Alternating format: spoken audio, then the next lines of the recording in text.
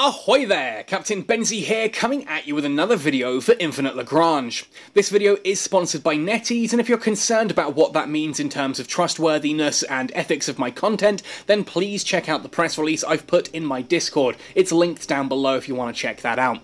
In today's video, we're going to be talking about what to spend money on in Infinite Lagrange, and by money, I mean real money. We're talking about microtransactions today, and this is always a controversial topic. However, I will say now that even free-to-play games still need to make money, developers still need to be paid, server costs need to be maintained, and if you ever want new content to be added to the game, you're going to have to pay developers in order to produce that content. In a worst case scenario, if a game is not profitable, the servers are going to be shut down and just the game will cease to exist. Ergo, a sad fact of life, you are going to have to make sure that a game is profitable.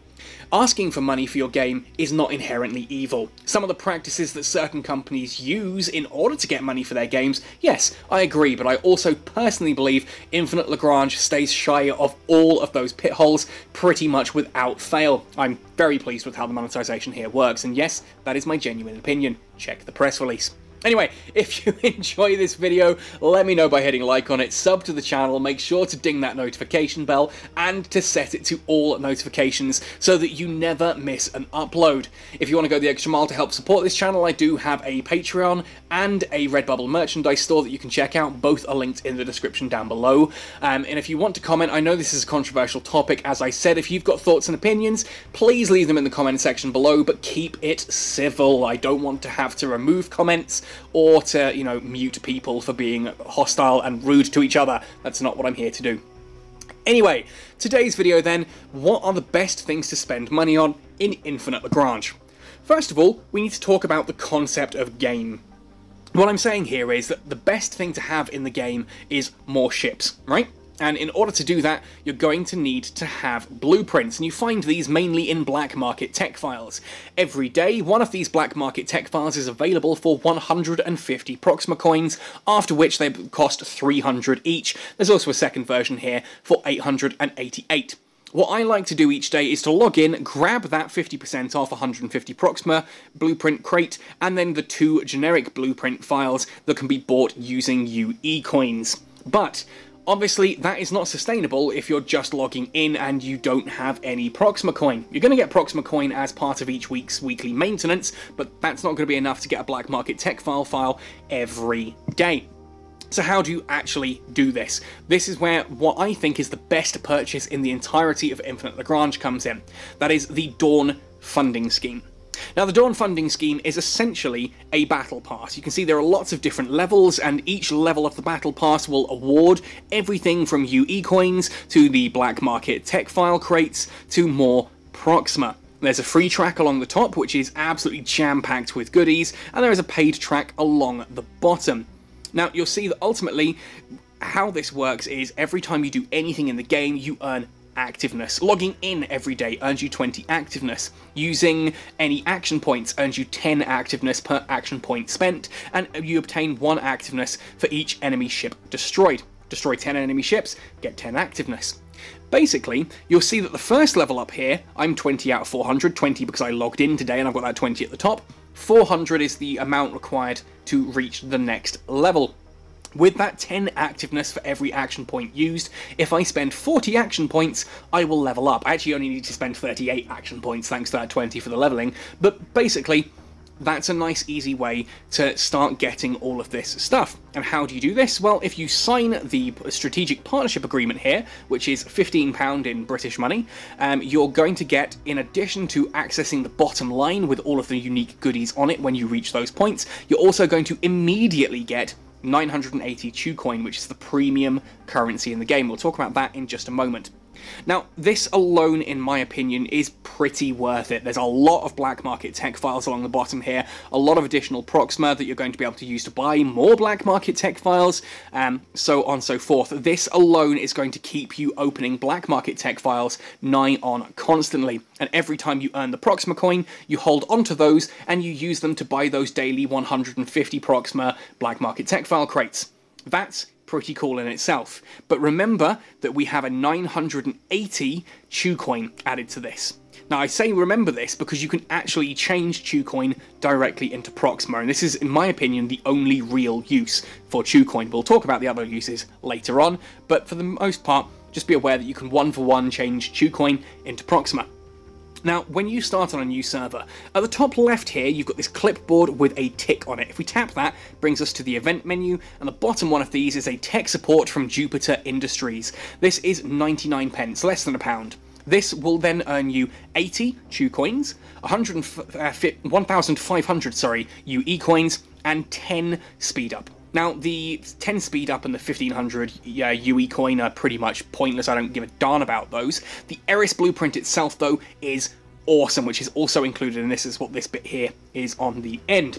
The Eris itself is a light rapid fire cannon destroyer, and I think it's one of the best destroyers early on in the game. It is exceptional at taking out enemy frigates and destroyers, and it also is surprisingly tanky. Also, once you've unlocked the Eris blueprint, the standard light rapid fire cannon destroyer, which is the first variant, when you find the Eris again in other blueprint boxes, because the Eris does exist in other blueprint boxes, you can unlock the armor variant, and that armor variant is really, really good. It's one of the best tanking destroyers in the game, in my opinion. Getting that was a game changer for my destroyer and frigate fleet. There's also the Eris Heavy Cannon Destroyer, and my goodness, the statistics on that thing are terrifying. So the Eris, in my opinion, is well worth getting. Even if you don't use the destroyer itself in the long term, the fact is that you are now already a significant step closer to having the armor and the heavy cannon variant, although again, I do think the rapid fire variant is well worth it. The key point though is that buying this as well will give you an additional 60 Chew coin. Now, in my opinion, that is one of the best purchases anyway. Just a pound to get yourself the Eris is pretty cool, but if you combine those two purchases, sorry, into the Dawn funding scheme, not only have you got the 980 here from the Strategic Partnership Agreement, you've also got the 60 from buying the Eris. That is more than the 1000 you'll need for the Dawn financial plan. Now, unfortunately, I've already activated this in a previous take where um, things didn't work out quite fairly, so basically you'll have to see this on your own screen. There are two versions of the Dawn financial plan plan, and if you can get yourself a thousand Proxima, the one on the right is by far the superior one. Basically, you spend 1000 Proxima immediately, and it will give you this tracker. You'll get 100 straight away back, and then every day that you log in for the next 30 days, you gain a certain amount of Proxima back. So this means when I log in tomorrow, I will get another 100 Proxima. When I log in the day after tomorrow, I'll get a further 100 Proxima. This means that over the course of those 30 days, the 1000 Proxima that you spent is converted into 3200 Proxima, a profit of 2200. That is awesome, and it is a really, really big help. This essentially, combined with everything else, now means that every day you log in, that Dawn funding scheme is going to earn you a whole ton of black market tech crates. You're going to be earning Proxima coin through the Dawn funding scheme. Every day you log in, you're going to be getting at least 100 Proxima towards buying more of the black market crates. It's just a way to constantly keep the Proxima flowing so that every day you can log in, buy one of those 150 Proxima Black Market tech files and your two generic BP files. Every day, that's what I do first thing in the morning. Log in, grab the Black Market tech file and two of the generic BP files. That's my daily routine, and it has helped me unlock so many ships that it is unbelievable. So, you could theoretically just go in and buy enough Proxima to do the Dawn financial plan, and that's kind of worth it. The thing is, though, when you look at how much that costs in ChewCoin, that's going to cost you either your first purchase here of 9.99, so £10 um, to get you the 680, plus your first purchase of 680 being a total of 1360, giving you enough to, you know, to buy that straight off. If it's not your first purchase, though, you're going to have to do a $9.99 and a $4.99 in order to actually reach the amount required. In fact, even that's not quite enough. Why not just go for the Battle Pass and get all the other stuff as well? So, in my opinion, the best thing to buy is the Strategic Partnership Agreement, followed by the Eris. That gives you enough to go into the Dawn financial plan. You've got all three of those things for a total of £16. Now, again, you can avoid the Eris. If you really sit there and think, oh, I don't want an Eris, although I really don't get why, you can just level up the Dawn Partnership Agreement here to level 3, where you get the 100 Proxima there. That will then be sufficient to open the Dawn financial plan. I personally recommend though just spending that extra pound to get the Eris. £16 unlocks an insane amount of content here in Infinite Lagrange, and basically after doing that, I don't tend to buy anything else because, in my opinion, there's not much other point. Let's have a look at what the other options are, though, just so you're aware. So first of all, let's jump back into the recharge screen. You'll notice that every day that you buy here, you will gain whatever you purchase plus an additional 60 Proxima coin. It's not much, but it's a nice little gift. Now, I'm part of Google Play Rewards, which means every week I earn a certain amount of Google Point, uh, Google Play points. Once I've got enough of those, I can convert them into Google Play credit. That means if I do that, I can convert it into a pound's worth of Google Play credit. I can buy that first one, uh, 99 pence one, 60 coins there, um, completely free basically. That would give me 60 coins basic because it would be my first purchase. I'm going to get an additional 60 coins, so that's a, to a, total of 120. Then I'm also going to get the 60 Proxima as it's the first purchase of the day, which is 180 Proxima in effect by time you've turned the Chew coin into the Proxima. And yes, elephant in the room, there is one of these that is 99.99. In my opinion, that is a lot of money to drop in one go. I've probably dropped about that much over the course of me playing Infinite Lagrange. I just don't feel I can drop it in one go. If you're the kind of person, however, that does have that kind of disposable income, or just really wants to invest in the game early on, it's nice that it's an option. I don't think it's inherently evil that it's an option. You don't have to go for it. There's so many other things you can do. In my opinion, £16 is literally all you need. Anyway, other things you can actually spend money on. If we come to the store and go to Tech Center, you get tech points for frigates, tech points for destroyers, and tech points for cruisers. Now, blueprints go all the way up to level 50, and those final few levels, anything from level 30 upwards, yeah, can be a bit of a grind because you don't gain experience from uh, like fighting off privateers or like cities. You only get experience at that point from PvP, taking out other players. So, other than strategically fighting other players in order to level up, you you kind of have to wait until you get tech points drop in your crates, your black market tech crates, for example. Or you can theoretically spend real money here buying tech points directly. Just in my opinion, this isn't really worth it. This is not a great way to spend your money. If you, again, you've got disposable income and you want to do it, you know, be my guest. But you're watching this video because you want to know what I think is worth it and what's not such good value. This to me is lower value. You can buy each of them only once, so once you've spent £9 on the tech points for destroyers, you can't do it again. You can't spend £18 and get 20 points. You cannot do that. It's only the 10 points. I just don't personally see that as worth it. It's, you know, in my opinion, I think that there are ways to level up your destroyers, frigates, and cruisers that don't require the money, and you don't lose all that much. 10 tech points on a destroyer, cruiser, or frigate doesn't actually do all that much. It's a complete upgrade on basically one system, if that. Um, so it's not a huge investment, but it's still not as bad as by far the worst way you can spend money in this game, in my opinion. If we go into blueprints and look under ship liveries, you can here buy different liveries for different ships, and some of these do look really cool, I'm not to lie, I really like the look of some of these. Um, basically, they're skins for your ship, and they cost 1200 Chew coin. 1200 Chew coin in basic terms is about £20. If you want to buy this and not get the additional first purchase bonus, etc., it's £20.